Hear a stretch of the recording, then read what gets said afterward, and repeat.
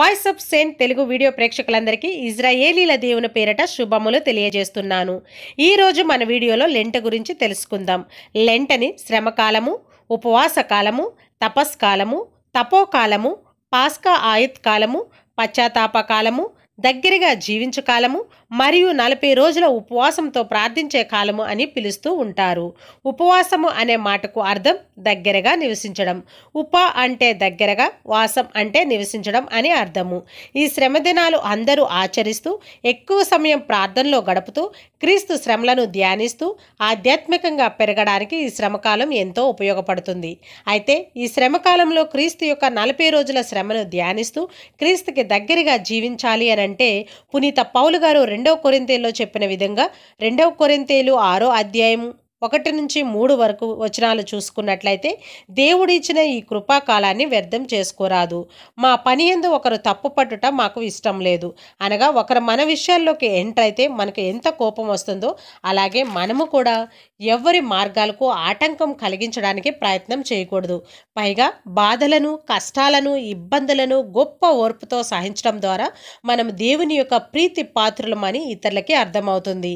ఈ శ్రమకాలంలో ఇడిచిపెట్టవలసిన ఎన్నో ఎన్నో విషయాలను విడిచిపెట్టి నేర్చుకోవలసిన కొత్త విషయాలను నేర్చుకుంటూ అవసరం లేని విషయాలకు దూరంగా ఉంటూ మన చెడు ఆలోచనల ద్వారా చెడు పనుల ద్వారా చెడు సావాసాల ద్వారా చెడు చూపుల వలననో దేవునికి మనం దూరం అయిపోయాము కానీ ఆ పరలోకపు తండ్రి మనల్ని మరలా ప్రేమతో పిలుస్తున్నారు. కాబట్టి మనము మరలా దేవునికి ఇష్టమైన బిడ్డలుగా ఉండేటకు ఈ ఉపవాస కాలంలో ఉపవాసంతో కన్నీరు కారుస్తూ చేసిన తప్పులను పశ్చాత్తాపంతో ఒప్పుకుంటే దేవుని కృప మనము మరలా పొందుకునే వారము అవుతాము.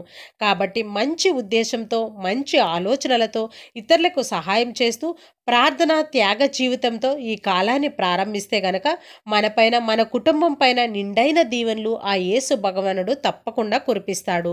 యశయ గ్రంథంలో దేవాది దేవుడు చెప్తున్న ఒక మాట మీ ప్రార్థనలు వినడానికి నేను చెవిటివాడను కాను.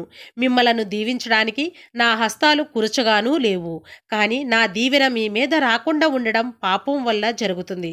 కనుక పశ్చాత్తాపపడి మీ పాపాలను అంగీకరించి ఆ అడ్డుగోడగా ఉన్న మన పాపాల్ని మనం పడగొట్టు పడగొట్టుకోగలిగితే దేవుని సన్నిధిలో మన పాపాలను ఒప్పుకుంటే తిరిగి మనం దేవుని కృపను అపారంగా పొందుకుంటాము. తిరిగి దేవునిలో ఫలిస్తాము. అయితే ప్రియ సహోదరి సహోదరులారా తపస్కాలాన్ని మనము ఈ బూది బుధవారంతో ప్రారంభిస్తాము. ఈ బూది పశ్చాత్తాపానికి గుర్తు. పాత నిబంధనలో కానీ మనం చూసుకున్నట్లయితే ఎంతోమంది బూడిదలో కూర్చొని బూడిద ఒంటికి రాసుకొని పశ్చాత్తాపంతో దేవునికి ప్రార్థనలు చేస్తూ ఉండేవారు. మన గురువు కూడా ఈ బూదిని మన నుదుటిపైన సిలువు గుర్తుగా వేస్తూ ఓ మానవుడా నీవు మట్టివి. తిరిగి మరలా మన్నైపోతావు. కాబట్టి మన్నులో కలవక మునిపే దేవుని వాక్యాన్ని విని విశ్వసించి ఆయన్ని నమ్మి జీవించు అని మన జీవిత పరమ రహస్యాన్ని ఆ శిలువ గుర్తు ద్వారా మరొకసారి మనకు గుర్తు చేస్తూ ఉంటారు మన గురువు. అయితే ఇప్పటి వరకు మనం తపస్కాలం అంటే ఏమిటి? తపస్కాలంలో మనం ఏ విధంగా జీవించి ప్రభుకు దగ్గర కావాలి? తపస్కాలం ఈ బూదుతో ఎందుకు మొదలు పెడతారు? బూడిదకు ఉన్న అర్థం ఏంటి అనే విషయాలను తెలుసుకున్నాం. అయితే ఇప్పుడు మన బైబిల్లో నలభై రోజుల ఉపవాస ప్రార్థనని నలభై రోజులే ఎందుకు చేస్తారు? ఆ నలభై అనే అంకెకు ప్రత్యేకత ఏమిటి అనే విషయాన్ని గురించి తెలుసుకుందాం. మొట్టమొదటి ఈ నలభై రోజుల ఉపవాస ప్రార్థనని మోషే ప్రవక్త సీనాయి పర్వతం పైన చేసినట్లుగా మన నిర్గమకాండము ముప్పై నాలుగో అధ్యాయం ఇరవై ఎనిమిదో వచనంలో చూస్తూ ఉన్నాము. ఆనాడు మోషే ప్రవక్త దేవుని పది ఆజ్ఞలను స్వీకరించడానికి సీనాయి కొండపైకి వెళ్ళి నలపది పగళ్ళు నలపది రాత్రులు ఎలాంటి అన్నపానీయాలు ముట్టుకోకుండా ప్రార్థనలో గడిపినట్లుగా మన బైబిల్లో చూస్తాము. ఆనాడు మోషే ప్రవక్త ఎలాంటి అన్నపానీయాలు తీసుకోకపోయినా ఆయన దేవునితో మాట్లాడడం ద్వారా ఆయన అద్భుత శక్తులను పొందుకొని తిరిగి నలభై రోజుల తర్వాత పది ఆజ్ఞల పలకతో ఇజ్రాయేలీల ప్రజలను ఆయన కలుసుకున్నారు. ఇంకా రెండవ వ్యక్తి ఏలియా ప్రవక్త. ఒకటో రాజుల గ్రంథం పంతొమ్మిదో అధ్యాయం ఏడు ఎనిమిది వచనాల్లో కానీ మనం చూసుకున్నట్లయితే యహోవా దూత రెండవ మారు కూడా అతన్ని తట్టి లేపి లేచి భుజింపుము. నీవు చాలా దూరము ప్రయాణం చేయవలయను సుమా అనెను. ఏలియా ప్రవక్త లేచి రొట్టెను తిని నీళ్ళు తాగెను.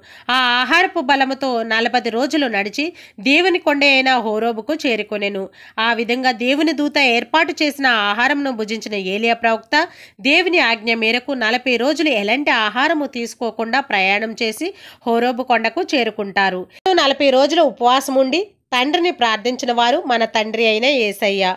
మత్తేసు వార్త నాలుగో అధ్యాయం ఒకటి రెండు వచనం కానీ మనం చూసుకున్నట్లయితే అంతటా యేసు సైతాను చే శోధించబడుటకై ఆత్మ వలన ఎడారికి కొనుపోబడెను.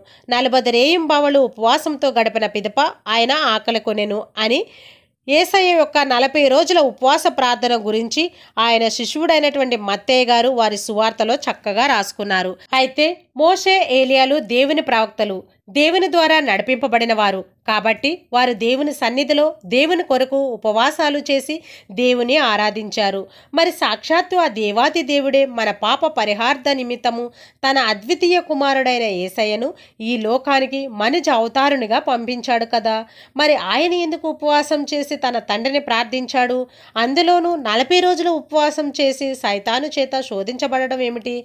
ఇలాంటి ఎన్నో సందేహాలు ప్రతి ఒక్కరిలో కలుగుతూ ఉంటాయి. అయితే ఏసయ్య ఈ భూలోకానికి వచ్చింది మన పాప పరిహార్థ నిమిత్తమే. అయితే ఆయన ఒక మనిషిలాగా మరియ తల్లికి కుమారుడిలాగా ఒక మనిషి రూపంలోనే ఆయన జన్మించాడు అనే విషయాన్ని మనందరం గుర్తుంచుకోవాలి.